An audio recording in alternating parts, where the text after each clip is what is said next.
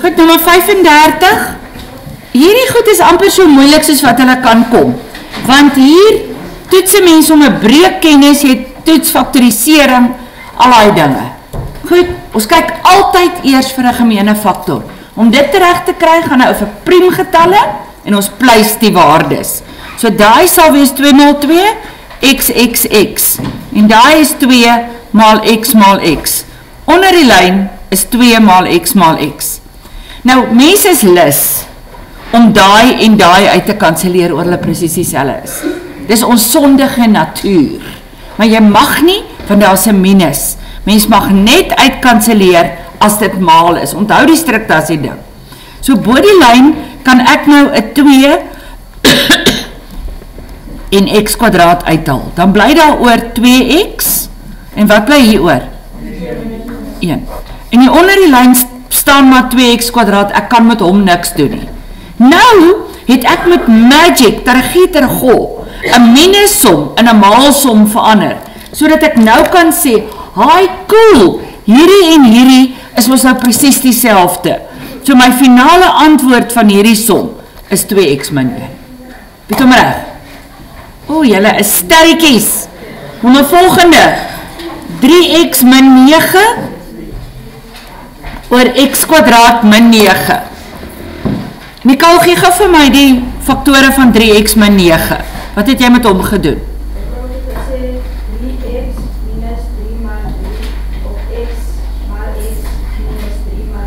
Nee. Ja, oké, okay, ja, jy het hom gepleis. Dis reg. Ja, en toe? Toe haal jy wat uit? 12 en 3. Oké, okay, en toe wat bly oor? 1 x sorry en x minus 3, is dit reg? Want jy het 3x gepleis as 3 maal x en 9 gepleis as 3 maal 3. So as jy 3 gemeenskaplik uithaal, dan bly daar oor x min 3. Is jy reg? En hoe faktoriseer ons x kwadraat min 9? Caroline, Juffrou, ek het die verskil tussen twee volgorde. sê jy die antwoord ja? Um, x minus 3 en dan x plus 3. En hoe cool is dit? Wat kan ek uitkanselleer? Daai x min 3 hakies. Niks anders ter wat dieselfde is nie. Al wou ek graag hierdie 3's uitkanselleer, mag ek nie, want daar's 'n plus. Wie reg? Mooi mooi. Nommer volgende. yes. By die antwoord, as daai x plus 3 in hakies is, is dit reg? Ja, dit maak nie saak nie of hy nou 'n Ek wil nou nie sê of hy 'n rokkie aan het of nie 'n rokkie aan het nie, dis in elk geval reg, maar dit is uh Kan. Ja. 3 op x plus 3 is reg of 3 op x plus 3 in hakkies is ook reg.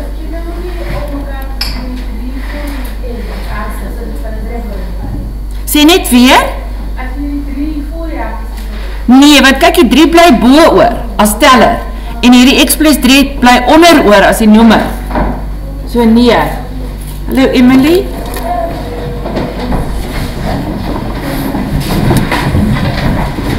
Dankie vrou Negus. Wie sou wees?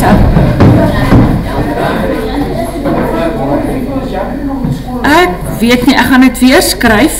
Weet ons of hy weg is? Kom ek skryf maar weer.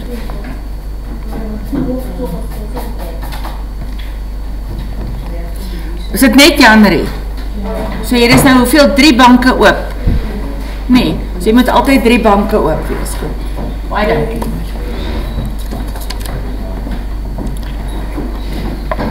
Goed, kom ons gaan aan. x kwadraat plus 5x minus 6 oor x kwadraat plus 6x. Hoe faktoriseer ek daai boonste 3? Het jy hom herken? Dis mos 'n kwadratiese 3 term. So hy gaan faktoriseer in twee hakkies, x maal x en die tekens verskil.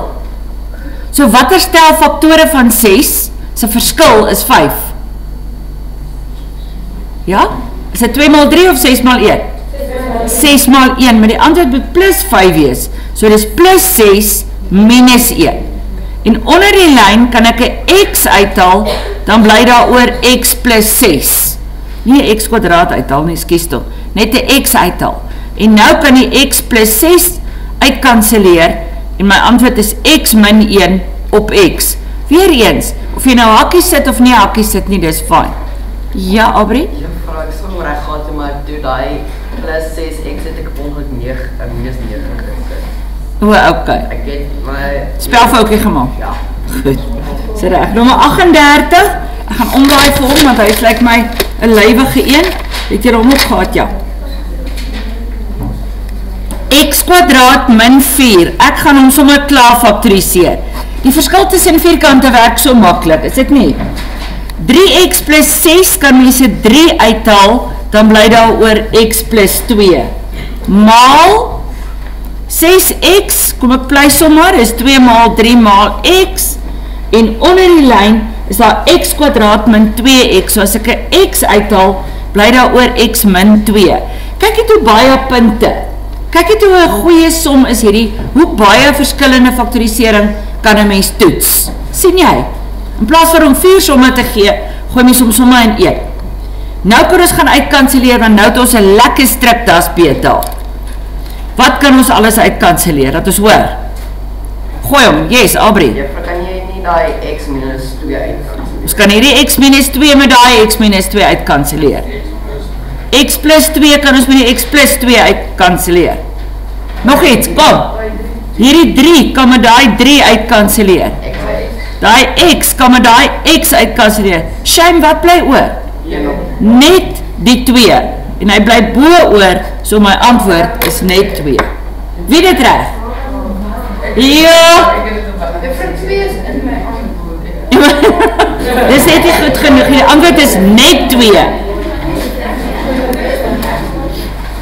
5x kwadraat minus 10x oor x kwadraat plus 4x min 12 maal x kwadraat min 36 5x min 30 kyk mooi ek het nou hier stappe uitgelaat van om weer die som te skryf en te pleis en al die goed.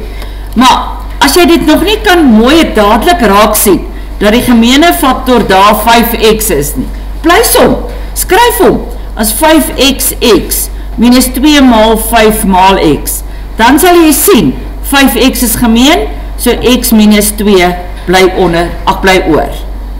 Hier is een kwadratiese 3 term, so 2 hakies, xx. Faktore van 12.